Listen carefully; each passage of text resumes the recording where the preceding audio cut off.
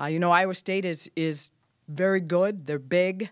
Uh, they shoot the three extremely well. Um, Bridget Carleton was Big 12 uh, Player of the Week. Um, I think she had 19 points in the fourth quarter against South Dakota. As a team, they went 11 for 19 from the three. Um, I don't think there's any question what they want to do. That's who they are. Uh, so we're going to have to make sure that um, we are scouting report ready defensively, uh, understand where we can help, who we can help off of.